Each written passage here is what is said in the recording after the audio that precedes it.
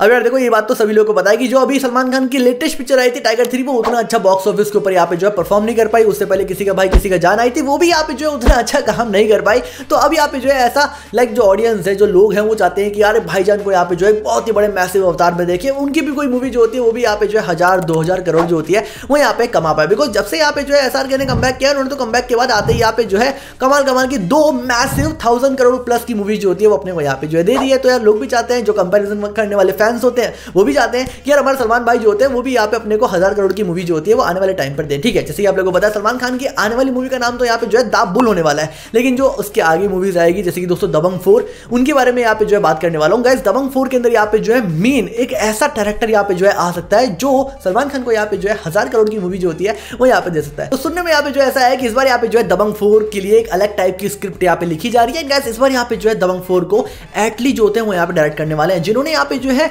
बॉलीवुड को एक सबसे बड़ी पिक्चर जो होती है वो यहाँ पे दी है 1100 करोड़ की जवान वो यहाँ पे जो है दबंग फोर को डायरेक्ट यहाँ पे जो है कर सकते हैं बिकॉज़ वो दो चार बार गैलेक्सी अपार्टमेंट में यहाँ पे जो है देखी गए सुनने में यहाँ पे यही आ रहा है कि इस बार यहाँ पे जो है वो दबंग फोर की स्क्रिप्ट को लेकर यहाँ पे जो है बात कर रहे हैं सलमान खान से अगर ऐसा होता है कि यार अपने को यहाँ पे जो है एटली दबंग फोर को डायरेक्ट करते हुए दिखते हैं तो एक्शन तो अपने को यहाँ पे जो है मास लेवल का यहाँ पे जो है देखने को मिलने वाला है लेकिन एक्शन के साथ साथ गाइस स्टोरी भी आप लोगों को पता है दबंग की कितनी ज़्यादा कूल है जो जो चुलबुल पांडे का रोल है गाइस वो आई थिंक सो गाइस कि एटली के डायरेक्शन के अंदर अपने को यहाँ पे जो है और भी ज़्यादा निकल के दिखाया जाता है ठीक है उससे पहले यहाँ पे जो ये भी न्यूज़ आई थी कि इस बार जो दबंग फोर आएगी उसमें थोड़ा सा ओल्डेस्ट कैरेक्टर जो होता है वो अपने को यहाँ पे देखने को मिलेगा सलमान खान का एंड गाइस उसको फिर बाद में जो है हटा दिया गया था तो यार अभी देखते हैं क्या सीन यहाँ पे चल रहा है अगर एटली के साथ यहाँ पे जो है दबंग मूवी आ रही है तो डेफिनेटली यहाँ पे जो बहुत ही मैसिव लेवल के ऊपर यहाँ पे बनेगी एंड गाइस बहुत सारा पैसा डेफिनेटली यहाँ पे जो है कमा सकती है एंड गाइस देखो सलमान खान को भी यहाँ पे जो है ऐसा डायरेक्टर चाहिए जो एटलीस्ट यहाँ पे जो है हज़ार करोड़ की क्लब में उनकी भी यहाँ पे जो एंट्री होती है वो यहाँ पे करवा सके ठीक है होपफुली ये रूमर्स यहाँ पे जो है बिल्कुल सही निकल जाए। अगर ऐसा होता है तो काफ़ी मज़ा आएगा, लोगों को भी मज़ा आएगा। इनका सलमान खान को भी अपनी काफ़ी बड़ी मूवी जो होती है,